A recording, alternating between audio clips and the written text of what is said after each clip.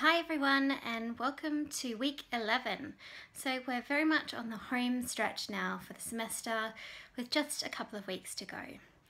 This week we're looking at trust and ethics and in our class this week we'll have Professor Peter Bruza along to talk about some research that he conducted using um, a platform called Mechanical Turk to crowdsource data on projects related to trust and ethics. So that will be a really interesting guest lecture.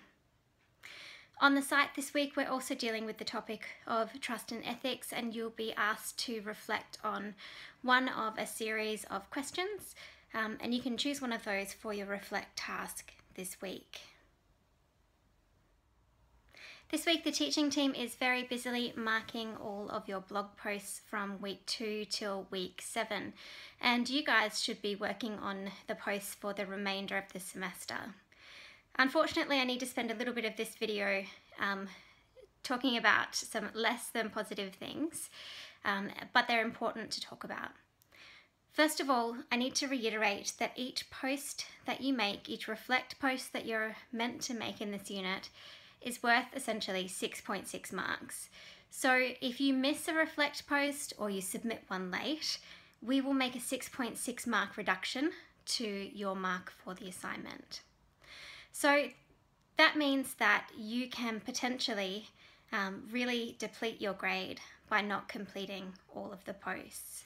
So please make sure that you are getting your posts in. If you're running late with your post, just write something and then improve on it later. So we give you the opportunity to keep updating your posts right up till the marking point. So your posts from week eight onwards, you can still be editing those now, right up until we ask you to finalise them for submission in week 14. So please make sure that you are submitting them on time. We are going to be lenient with the first assignment in terms of on-time submission or the first uh, marking point, but we're not going to be lenient on the second. So please make sure that you get them in. I was pretty surprised to see how many of you missed one or more posts. There's really no reason for you to miss them. We're not ogres. If you contact us about having difficulty meeting a due date, we are willing to work with you. So please don't ever miss a post. There's really, really no reason for it at all because we're very willing to help you out and to be flexible. I also wanted to reiterate a couple of things about the content of your posts. Firstly, it's really important that while we want you to present your critical reflections and your opinions on things, that you back up your arguments with the literature.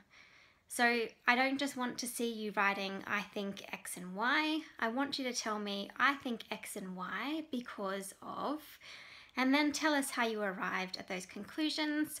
Um, cite some literature to back up your perspective and make sure that you are grounding your critical reflections in some form of evidence or um, in the literature. So, critical reflection, the word reflection doesn't just mean fluff. We do want you to write um, meaty content that is well backed up.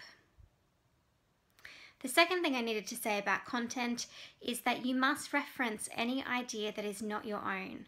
So if you've read an article and you've read, well say you've read two articles and you've come up, come, grabbed an idea from article one and an idea from article two and you've kind of synthesized those into your own analysis that's absolutely fine, but you need to acknowledge that idea one and idea two came from these different places.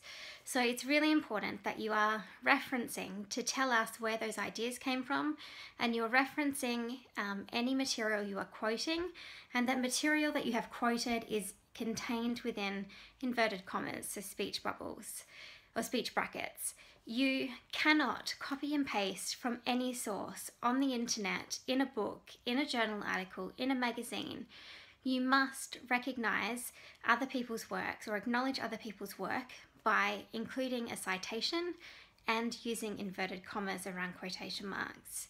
So please make sure that you are, you are referencing correctly for the posts that you submit for the remainder of the semester. Now on to talking about assignment three. Um, over the last several days, I've been loading material onto the unit site about the assignment. So there is um, some information there to help you uh, that kind of um, fleshes out the requirements in a bit more detail. And I've been making some posts on the blog about um, topics related to the assignment as well. You'll find all the information related to that assignment fed into the assignment 3 page on the unit site, and there's a fair bit of stuff there for you to work through. There is a page there of resources for you about creating video content, and the irony of that is that I'm creating not a great video right now where the lighting is not awesome um, and I'm creating a video at home at night without a light set up. So um, it, this is very much a case of do as I say and not as I do. This is not an awesome video.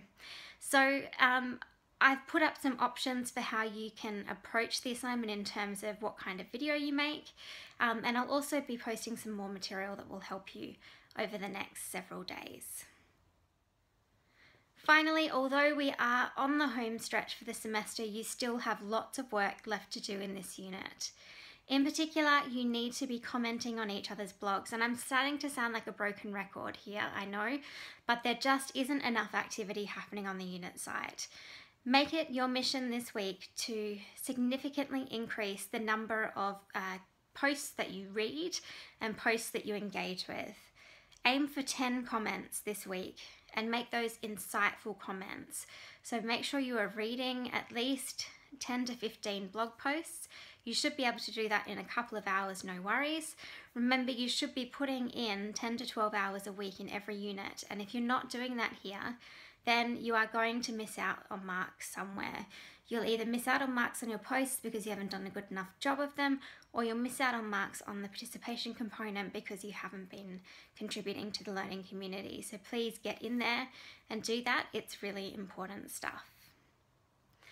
Okay, I won't be seeing you in class on Friday. My uh, colleague, Professor Peter Bruza, will be running class, but I'll be back with you next week.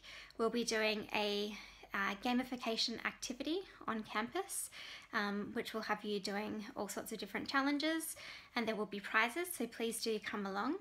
And in week 13, we will have a wrap up lecture and that will be online only. So um, next week is the last time I'll see you for the semester in person.